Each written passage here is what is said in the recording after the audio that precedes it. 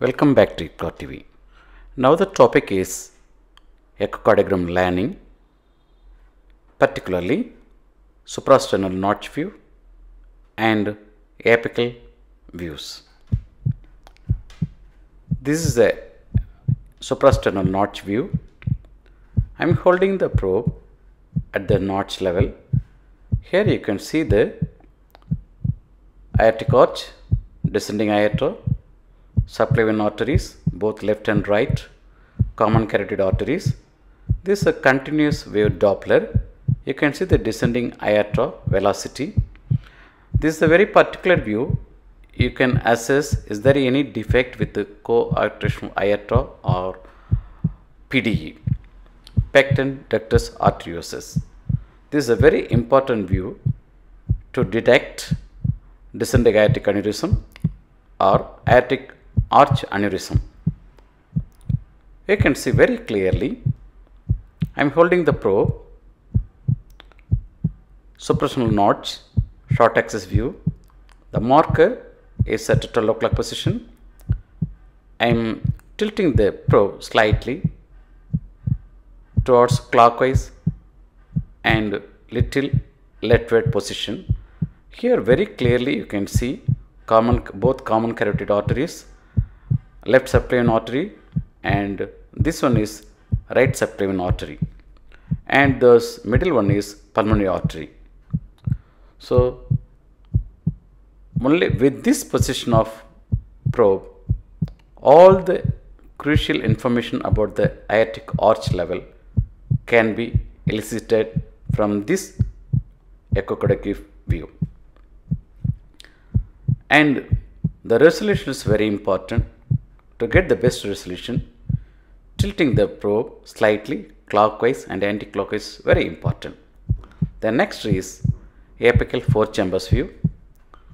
Apical four chambers views gives almost 80% of the information from the heart. All the four chambers, all the three valves information can be derived from this apical four chambers view. This is a color flow, mitral flow, the flow from left atrium to left ventricle color flow. Here in this view, we can see is there any mitral regurgitation or mitral stenosis, is there any significant gradient between the left atrium and left ventricle. To assess mitral stenosis or mitral regurgitation, a mitral lesions can be got from this view. Then tilting the probe to get the maximum resolution and accurate pictures, ultrasound images very important. For that still I am tilting and holding. You can see very clearly how I am holding the probe and firmly touching the skin. This is the pulse wave Doppler of mitral flow. Here you can see the E wave and A wave very slightly. The next resolution, yeah, so very clearly you can see E wave and A wave. This is a mitral flow of pulse wave Doppler.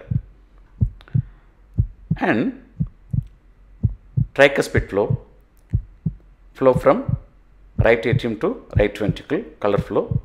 In this view, we can see is there any tricuspid regurgitation or tricuspid stenosis. This is a very important view.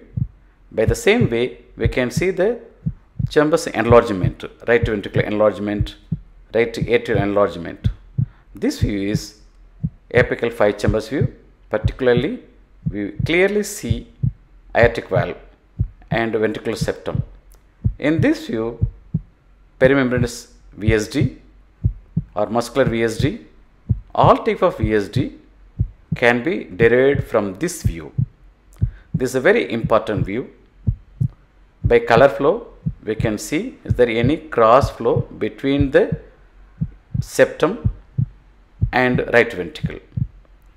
This is aortic flow of pulse wave Doppler this is the way to assess aortic velocity, aortic flow velocity by pulse wave Doppler or continuous wave Doppler we can assess.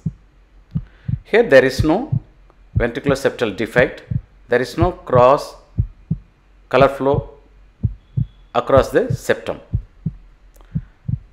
Here again I am trying to show you aortic valve, left ventricle and mitral valve.